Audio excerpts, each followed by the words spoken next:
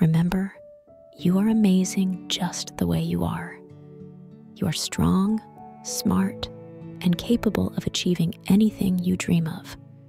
Believe in yourself, be kind to others, and always keep a positive heart. You've got this.